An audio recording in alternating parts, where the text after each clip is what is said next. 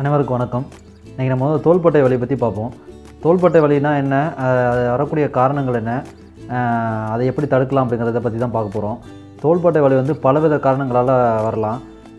தோள்பட்டை வலி வந்து என்னென்ன காரணங்களால் வரலாம் அப்படின்னு பார்த்தீங்கன்னா பெரிய ஆர்த்ரைட்டிஸ் ஷோல்டர் அப்படிம்போம். அதுக்கு இன்னும் ரெண்டு பேர் இருக்குது ஃப்ரோசன் ஷோல்டர் அதில் வந்து அக்ரெசிவ் கேப்சுலைட்டிஸ் அப்படிமோ இந்த பிரச்சனையால வரலாம். அடுத்து வந்து பார்த்தீங்கன்னா ஷோல்டர் டிஸ்லொகேஷன் ஏதாவது ஆன்டீரியர் டிஸ்லொகேஷன் போஸ்டியர் டிஸ்லொகேஷன் முடியும் அந்த டிஸ்லொகேஷனால் மூட்டு இறக்குது அதனால் வழி வரலாம்.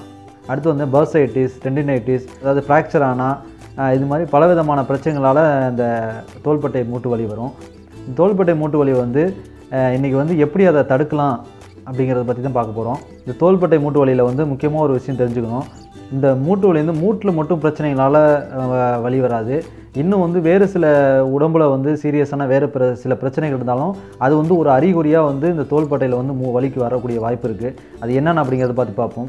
இப்போ ஒரு சிலருக்கு வந்து கழுத்தில் ஏதாவது பிரச்சனை இருந்தாலோ அது வந்து ரேடியேட் ஆகி உங்கள் தோள்பட்டையில் வரதுக்கு வாய்ப்பு இருக்குது அதே மாதிரி நரம்பு அழுத்தத்தினால வரத்துக்கூடிய வாய்ப்பு இருக்குது மூணாவது பார்த்தீங்கன்னா ஹார்ட் அட்டாக் அதாவது ஹார்ட் அட்டாக் வரக்கூடிய வாய்ப்பு வந்து அறிகுறியாக வந்து தோள்பட்டையில் வலி இருக்கும். அந்த தோல் அதை எப்படி நம்ம தெரிஞ்சுக்கலாம் பார்த்தீங்கன்னா இப்போ நார்மலாக உங்கள் தோள்பட்டையில் வலி இருந்தது அப்படின்னா நீங்கள் கையை தூக்கும் போதோ முன்னாடி தூக்கும் போதோ சைடில் தூக்கும் போதோ வலி இருக்கும். அதே நீங்கள் ஹார்ட் அட்டாக் வரதுக்கான அறிகுறியை வந்து தோள்பட்டையில் வலி இருந்ததுன்னா நீங்கள் தூக்கும் போது வலி இருக்காது. ஆனால் உங்களுக்கு வலி இருக்கும். ஆனால் தூக்கும் போது எந்த ஒரு வலியும் தெரியாது உங்களுக்கு. இதை வச்சு நம்ம தெரிஞ்சுக்கலாம்.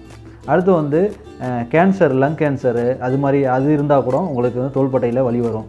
அடுத்து வந்து கால் பிளாடரில் ஏதாவது டிசீஸ் இருந்தாலோ லிவரில் ஏதாவது டிசீஸ் வந்தாலோ இது மாதிரி பிரச்சனைகள்னால கூட தோள்பட்டையில் வந்து உங்களுக்கு வழி வரதுக்கான வாய்ப்புகள் இருக்குது அடுத்து இந்த வீடியோவில் வந்து காமனாக வந்து நீங்கள் தோள்பட்டை வலி வராமல் எப்படி தடுக்கலாம் அப்படிங்கிறதுக்கான சில பயிற்சிகள் நான் வந்து சொல்லித்தரேன்.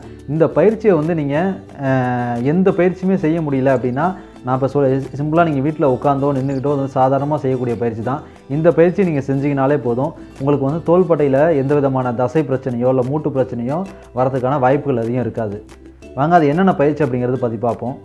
முதல் பயிற்சி வந்து நீங்கள் ஜஸ்ட்டு உங்கள் தோள்பட்டையை வந்து மேலே உயர்த்தி கீழே இறக்குங்க.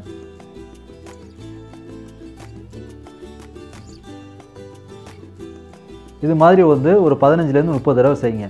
அடுத்து ரெண்டாவது பயிற்சி வந்து உங்கள் கையை இப்படி பக்கவாட்டில் வச்சுட்டு முன்னாடி பின்னாடி.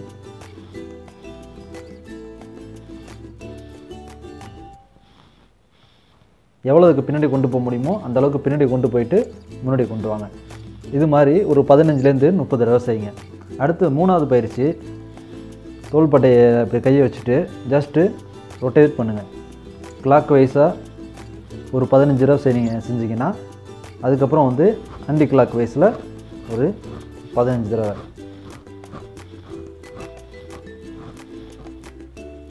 இந்த மூணு பயிற்சியும் ஃபஸ்ட்டு வந்து ஒரு பதினஞ்சு தடவை செய்யுங்க. அதுக்கப்புறம் இருபது இருபத்தஞ்சி முப்பது அப்படிங்கிற மாதிரி நீங்கள் கொஞ்சம் கொஞ்சமாக இன்னும் அதிகப்படுத்திக்கிங்க.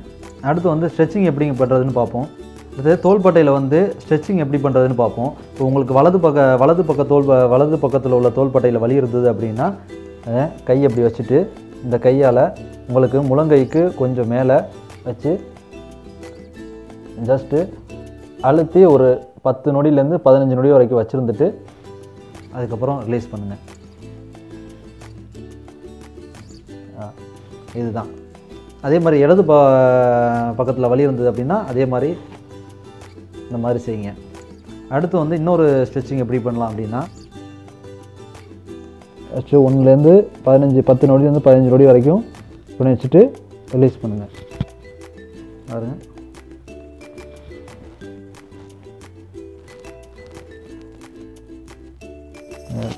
அதே மாதிரி இந்த பக்கம் வந்து